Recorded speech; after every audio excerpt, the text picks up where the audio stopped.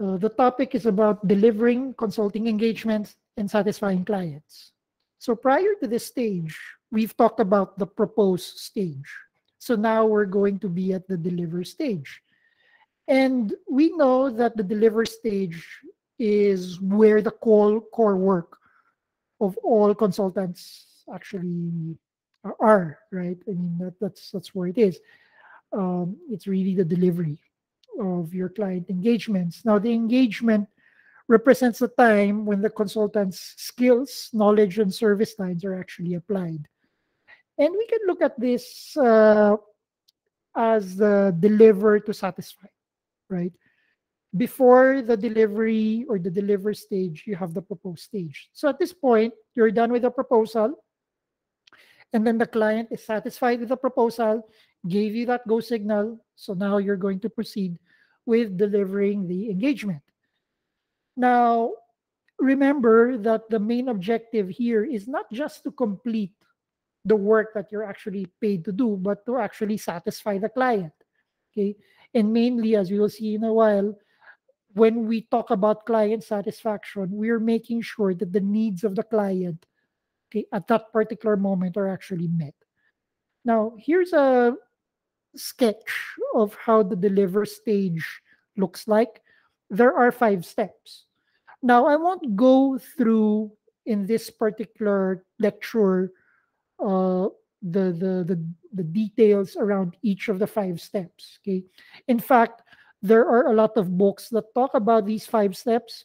Some books have it three steps, some books have it seven, six. Okay. The the whole idea is going to be the same. What I will do is that I will talk about the five steps, okay, in, in broad terms. And then later on, uh, in another lecture, in another talk, you will actually see the details around it. Now, in this particular framework, there are five steps when we're doing the deliver stage. You have the commence, the collect, the consider, the create, and then lastly, the counsel and consult. Okay. Now, they're easy to remember because they all start with the letter C. Okay. But eventually, you'll probably have your own mnemonic. And if you've noticed all of the other textbooks, they'll, they'll probably tell you the same thing. Now, while the consultant must generally progress in a logical order from the commence step to the last step, which is counsel and consult, there's going to be a regular jumping within the steps. So earlier, you're looking at this as if it were a linear process, but in reality, it's not going to be that linear. It would probably look something like this, okay? It's more like a star uh, type, okay? Sometimes you will start, then you collect the data, but then along the way, you'll be doing a lot of counseling and consulting. Okay. And then maybe some items when you start to re- reconsider things, you probably would want to collect more data again. And then and then maybe you need to redesign how your engagement approach is going to be. Okay. So it's not exactly linear and it's not going to be strictly linear. But understand that these five steps they happen when you are at the deliver stage they don't necessarily have to be in strict sequential order. Now let's talk about the steps one by one in again in in, gen, in general terms, okay? Uh, just to give you some some idea of what it really means to deliver consulting engagements. Now the first is commence or the start, okay? Commence is concerned with planning and resourcing the engagement. So at this stage, you're trying to build the methodology of your engagement. What are you going to do? What's the approach? What's the attack? Now, generally, a lot of decisions have to be made. The direction and nature of these decisions will be shaped by the agreements made and information collected in the proposed stage. So, your starting point in commence is what you've actually proposed, your proposal, and what the client agreed upon. Okay. But normally, it is only when an engagement is won that you get a fully detailed engagement plan. Okay. You will have to refine, you will have to tweak, you even have to make some corrections along the way. Okay. After your initial proposal has been accepted. So when you're done with the proposed stage, and as you know, in the proposed stage, the proposal is the endpoint of the proposed stage. The proposal is not like a fixed uh, output wherein, okay, that's not going to be touched anymore. We can't change that. Okay. Uh, that's not usually the case. And even if the proposal is supposedly bound by a contract, you know, there are ways on how certain contracts can be adjusted, provided both parties, the consultant and the client, would agree later on. Okay. In any case, during the commence step, this is your opportunity to sit down a little bit more relaxed because you already have the engagement. Now you're starting to think, is my approach really the right approach? Now, the nature of a plan in a consulting engagement depends primarily on the scale and complexity of the engagement. Okay, the plan itself, even when you've started during the proposed stage, okay, this is my plan. This is how we're going to attack the problem, right? But really, your plan would really be dependent on what you really want to accomplish. Okay. Sometimes the engagement can be very simple, straightforward. Probably you've done it in other clients in the past. It's just going to be the same thing. Okay, it's simple. At other times, it's really complex. Uh, it would really be volatile even. It would have a lot of dependencies. Even those who are that are not in, in the client's control, for example. And typically, when you look at a plan, oftentimes we look at it through the lens of project management. So the project management in a typical consulting engagement is not complex, but as you know, consultants are not really typically great project managers. I'm not saying that in absolute terms. There are consultants that are really good PMs. But the point here is that a PM and a consultant, well, it's ideal that you have them in separate roles, okay, played out by distinct people. Okay, because managing a project, managing an engagement takes a little bit of effort, a, a different type of focus, as opposed to actually doing the work or delivering the work. Okay.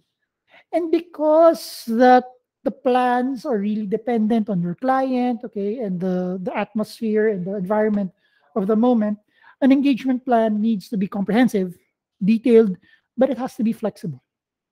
It has to accommodate a lot of variations. It should accommodate a lot of things, especially if you are looking at dependencies that are not in your control and not even in the control of the client. Now, uh, the result of a consulting engagement may be the creation of the set of client deliverables or some predefined outcome. Now, a deliverable is a defined output, which is usually tangible, but sometimes intangible, but definitely something that the client can utilize. Okay? A deliverable, like in most cases in IT, can be a system, be a software that you roll out. At other times, it can be just a, a roadmap or a plan, or even a position paper okay, on what's going to be done, let's say, in the next three or five years. Or it can be training people equipping them with skills and knowledge that they can use uh, for longer term. It, it, can, it can really be any output, and that's dependent on their need, on what they really need. And all of these things you have to understand from the from the get-go at the at the beginning. Okay? And this is something that we consider when we're in the commence step. Now, when we go to the collect step, once you've already decided, okay, this is our approach, whatever approach you take to helping a client, client, you need to collect information. You need to gather data. And the data, okay, the information is required to understand the clients and their issues, the scope engagements. You try to understand the impacts and the seriousness of the problems and to identify the solutions. So data gathering. At the collect step, you're doing data gathering work. So now, commence stage, you're you've developed your methodology, your approach once you've pinned down more or less your, your methodology, now you understand what, what data do I need in order for me to be able to execute my approach uh, fairly well. Now, accurate and sufficiently comprehensive data is critical to the success or failure of your consulting engagement. You can't draw valuable conclusions without a relevant sample of data. And after we've collected the data, okay, now we're going to go to the consider step or the analysis portion of the work, right? And this is where the consultant skills really come into the picture.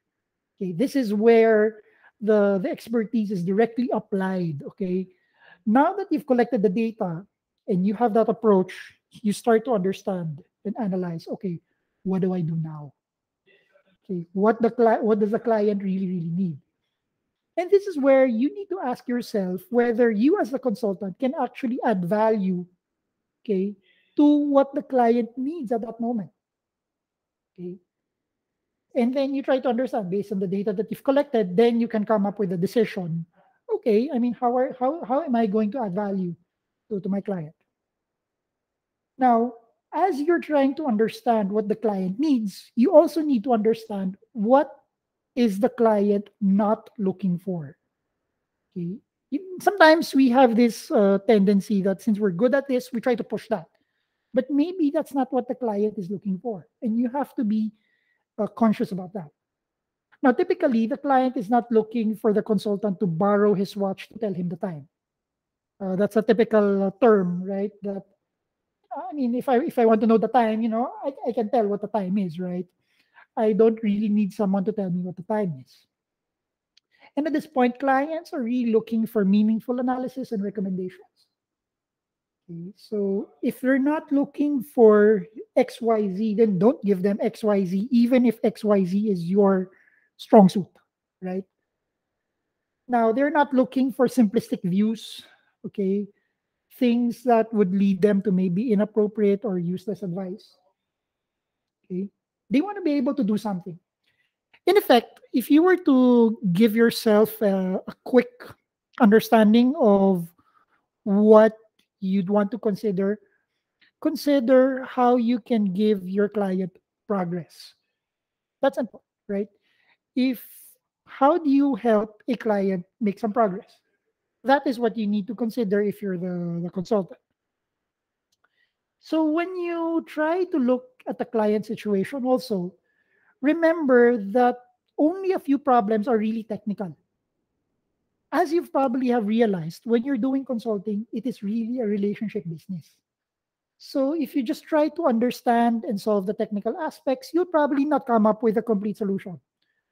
Okay? The human aspects play an important part in most businesses. And that is where you, as a consultant, need to be very good at as well. So as an IT consultant, you can't just simply be good in IT, IT. You also need to be good with people. And that's important. And that what completes the skill set of a true IT professional. It's not just about the technical stuff. Well, the technical is is what we call table stakes. That's expected in general, right? That you you have a certain level of competence in the technical sphere. But you also need to have competencies as regards how you deal with people with human beings, with organizations, okay? How you manage dynamics in a particular uh, collective, okay, with certain relationships. How does one relationship differ from another relationship? Okay? The human aspects, that is important to a client, uh, especially, and not just the technical aspects, okay? In fact, the reason why they've probably considered you or hired you was that they already know about your technical your technical skills Okay? At that point, they're not really just looking for your technical part. They're really looking for you to help them solve a problem. Now, once you've done your analysis, the next part is actually delivering it or creating the, the thing that would add value to the client. Right? So the create step is concerned with converting your findings, recommendations, or other outputs into a deliverable format that can be utilized by the client. Now, in some cases, it can be something concrete, like a system, okay, or it can be something concrete like giving them training, or it can be a little bit more long term, a little bit more fluid, like maybe guiding them on a roadmap for something that's like three or five years down the line. It is only when it comes to creating deliverables that you find out if the findings and recommendations that you did in the analysis or consider step that would be complete and coherent. So understand that the create step is not a one-time effort. Like, okay, I've done the create step, that's it, I'm done, complete, thank you. It's possible that you can have many deliverables. You'll have many iterations, perhaps of the same intended output. Okay, but but it, it doesn't have to be just a one-time effort. The thing there is that whatever you've analyzed, it has to be made tangible that the client can actually use. Okay? Now, if the client is satisfied about it, then that's the time that you proceed to a stage wherein you can close it out eventually. But all throughout the delivery stage, you have this fifth step, which is counsel and consult. And this happens not just at the end, but throughout it. Okay. And again, this is where the relationship building comes into the picture. A client and the staff of the client should actually learn from you, from the consultant. And this is how you build your reputation as an effective consultant. It's not just simply delivering the output and then you're not going to bother yourself with what the client really is expecting you to to teach them okay so this can be small items of advice you know occasional comments or, or, or statements it can mean even facilitating workshops okay? training or skills transfer activities or simply by observing how the consultant works how you conduct yourselves professionally okay? they actually see you and they, they, they might even be impressed and they might even take you as an example now how you discuss your findings and recommendations is important to the client acceptance as to what your findings and recommendations are. So the how, okay, how you conduct yourself. Remember, this is not just about the deliverable or the output. The process of getting through that, that's important because that helps define the quality of your relationship engagement with the client. And we've said that so many times, and we'll be saying that again, that consulting okay, is also uh, a relationship heavy type of activity. You have to take care of the relationship with the client. Okay. Now, findings and recommendations uh, during the create stage, but even all throughout, it has to be presented with clarity, confidence, and assertiveness. Okay. And there are many ways on how you can present uh, your your output, and this is where uh, typical tips in business communications would come into the picture, right? So the the other skills that you learn okay as to how to present well okay all these things well they, they play a big role in in in helping you making sure that you are able to present your findings and recommendations with clarity confidence and assertiveness now the outcome of this particular step is that the client should understand what you're actually going to recommend to them. But it doesn't really end there right? So in a way that's the the client satisfaction okay? If the client is satisfied then you can probably say that your counsel and consult step is is, spot on. But it shouldn't end there right? It should lead to actions. It should actually lead to the client actually taking some action. Now if a client takes no action as a result of your work okay you've done your submission okay you've presented it to the client okay, the client was nodding, oh, okay, yeah, yeah, that seems okay. And then, but in the end, the client didn't do anything after that. Even if you're fully paid, then you've actually failed to add any value. And even if you're paid now, uh, oftentimes, you know, potential clients would confer to past clients. You know, they'd ask the past clients, oh, how did this consultant do? Now, if your your past client said, well, you know, I mean, yeah, they were very good. They had very good presentations, very sophisticated. They know the technical stuff. But you know what? They didn't really help us. That will actually affect, impact your credibility as a consultant. So always remember, okay, as you're going through all of these steps, okay, uh, in consulting, you have to understand that you're really there to help deliver, okay, and then address the need of a client.